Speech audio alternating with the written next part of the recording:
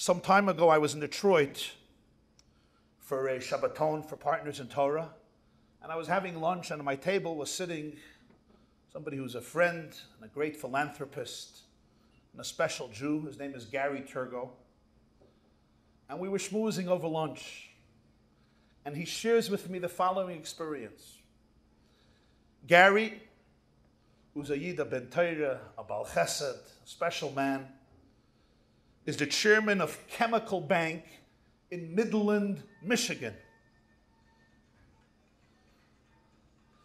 And he's sitting in his office on the 11th floor of the bank.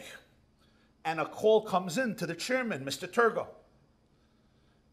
On the other line, on the other side of the, on the he picks up the phone, and a, Jew, a man is speaking to him. He says, Is your name Gary Torgow? Are you the chairman of the bank? He says, Yes. He says, Well, let me introduce myself.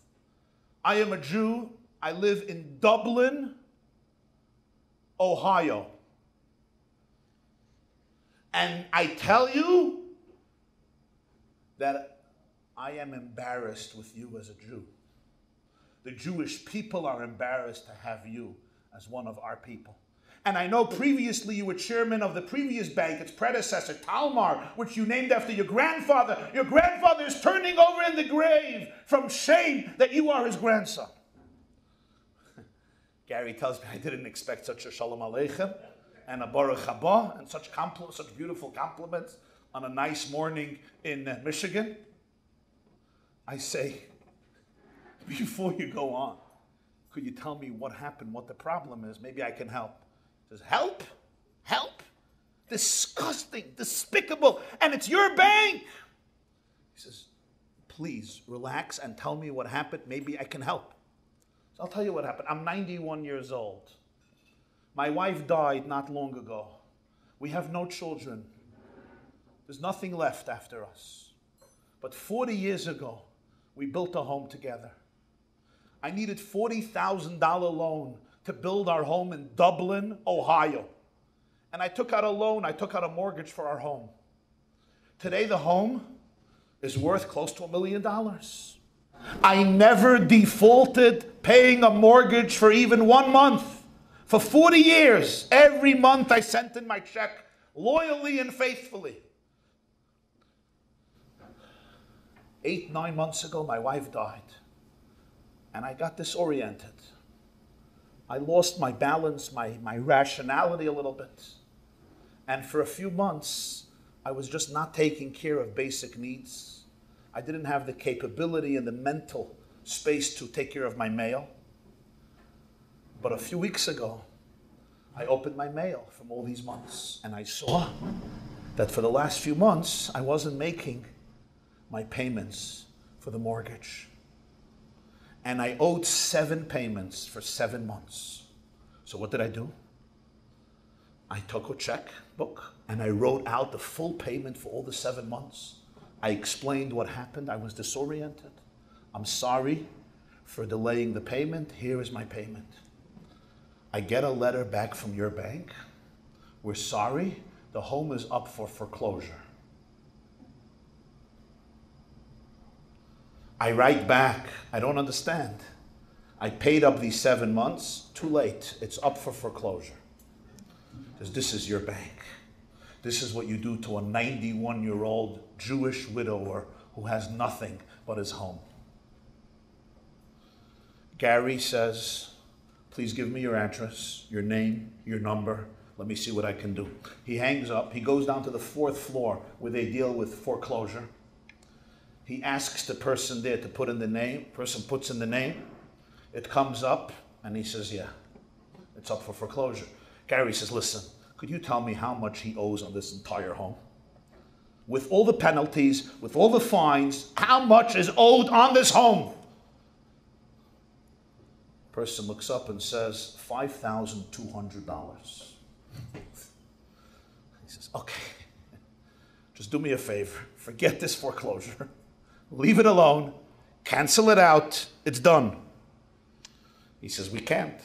The mortgage was bought by a servicer. It's out of our hands. It's not ours. There's nothing we can do. Gary says, Here, here's a check. $5,200, he writes out a check. Overnight it to the servicer who bought this mortgage. I'm taking it. You make sure it goes back, a message goes back to this Jew, this 91 year old Jew in Dublin, and send him the news and all is taken care of. And Gary wrote a note. Your home was paid off for completely. Forget this seven months, take back your check, it's fine, we're not depositing that. Fines, penalties, all covered. You owe not a penny on this home. May you enjoy this home for many long, happy, prosperous, and healthy years. Gary Torgow. And it's overnight to the servicer. All is settled. Gary says, Make sure you confirm with me when it's done. Make sure the Jew gets my note and the message that the home is his. Great. Done. Life moves on. He tells me around a year later, he gets a call one day. A man introduces himself as a lawyer who practices in Dublin, Ohio. Is your name Mr. Torgow? Yes. Do you remember a Jew in Dublin by this and this name? He says, You have to remind me.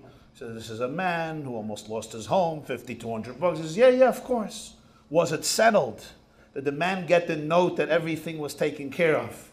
He says, Yes. And I'm here to tell you that this person died yesterday. And he has no family, he has no children. He says, I'm so sorry to hear. Is there anything I can do? Is everything fine? He says, Yeah, there's not much you can do. But uh, I want to tell you a few. I want to tell you a few days after he got that note, he called me. And he said, We have to change the will. And he changed his will. His final will and testament, he changed. And what he put in is that this home should go to Gary Torgow to distribute to any charity of his liking. So now you have a home, and uh, tell me what you want. It's your house. How much is the house worth on the market? $850,000. Gary tells me, he says, Rabbi Jacobs is not bad. $5,200. I got an $850,000 home. Not such a bad investment deal. And the lawyer says, What do you want me to do? So Gary says, Put it up. Let's get the money and I'll distribute it to charity. The man says, Great. But Gary says, I need to ask you one thing. What was his passion? If he would give it to charity, what was his passion? And he says the charities he used to give went to Israel. So Gary said, okay, take the $850,000. He split it up between 10 moizdas, holy moizdas in Israel, of Torah and tzedakah, including yeshivas and koilalim. And, as he told me before Pesach, they each got their check and the $850,000 were distributed. Before he gets off the phone, the lawyer says, Mr. Torgow, can I share a personal feeling? Sure. He says, I'm a Catholic man, a faithful Catholic man all my life. I read the Bible attentively and I know it well. I never understood why did God make the Jews his chosen people? Why them? What did they do? Why them? As far as the Bible is concerned, they don't stop sinning. They're revolting. They're always complaining. They're chronic complainers. They appreciate nothing. And I didn't know why did God make Jews the chosen people? He says, Now I know. When I saw your behavior towards this man, now I know why you were the chosen people. That, my friends, I think represents a little bit of our calling at such a moment in history when the Jewish people have a tremendous power wherever they live to influence, not only within our own circle, but literally the world.